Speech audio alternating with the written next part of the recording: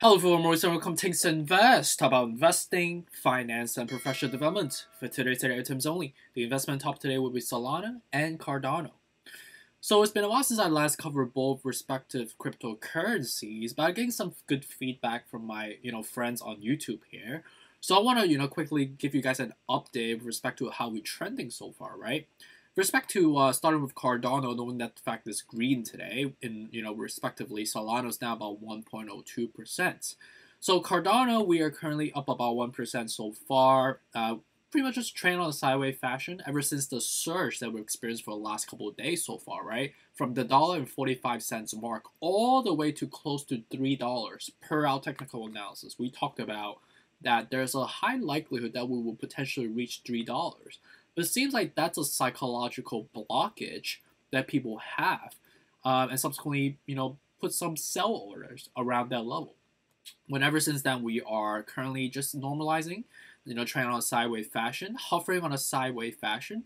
But if you look at this, this is a new territory. We have never really tested the two dollars and seventy five cents level before, nor the new territories we've been forming, right? So logically speaking, we would ideally come back down, you know, from Moon basically, which was technically three dollars, to ideally the two dollars and fifty cents, which you see some consolidation because that's a level of flat numbers people typically would buy at. Um, and ideally come back to the normalization zone of the dollar and 87 cents, which you see some substantive type of consolidation, but the duration is relatively short that the true level is really at the yellow zone, right? The dollar thirty four, a dollar nineteen, and dollar oh two, right? With respect to MACD, is still extremely overstretched. We're basically still up in the moon, you know, and I think the curvature is starting to form. That means that we are, we should be experiencing a, a possible sell-off coming. Uh, but I do know that Cardano does have a, a catalyst coming in September with respect to the fork um, and with, with that catalyst, we might see a little bit more anticipatory pressure ahead of the specific dates, and also with respect to media affectation at the same time, right? But we have to understand that RSI and the MACD are still overbought on all levels right now, and the technicals is not in your favor in terms of risk versus reward ratio that we ideally want to be buying at a lower level. Obviously, you don't want to buy on a premium, and I will say we are at a premium in a short-term perspective but long term wise, if you be- believe in Cardano, you should be just buying now, right? Because uh, if you believe in this long term, why listen to me? You know, hold it for the next five to ten years. You should be, you know, generate some long term capital gains for yourself, right? Which is a good thing. Um, and I think that's a, a safest bet that you will never lose money by just holding for a long term with a very sol- like solid value proposition that this asset stems uh, within, right?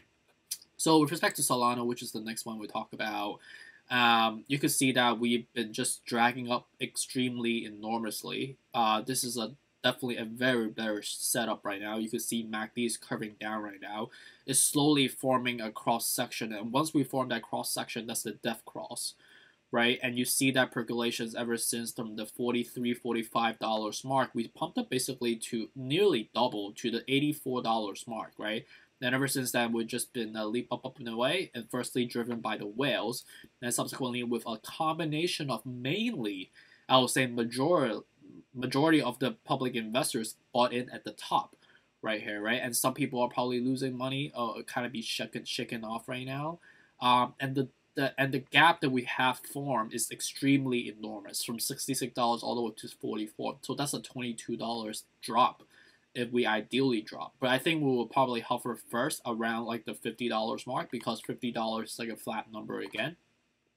Right, but again, with respect to the yellow zone is the ideal level you want to be buying at, right? This is the percolation, the you know the momentum was has been building ever since the surge, right? If you technically look at this, it's been like a downward wedge in a way that ever since that bottom we hit at 21 or 20 dollars we have been leap up up and away. And i think the timing matches with the b word summit if you look at it. Yep exactly the b word summit ever since july 20th and then ever since that we see a lot of positive news on the media front. We've been you know driving bitcoin and ethereum to be going up respectively but obviously all the altcoin or mid cap coins have also been driv- driven up as well right? So the level that I would buy at would be the these yellow levels here.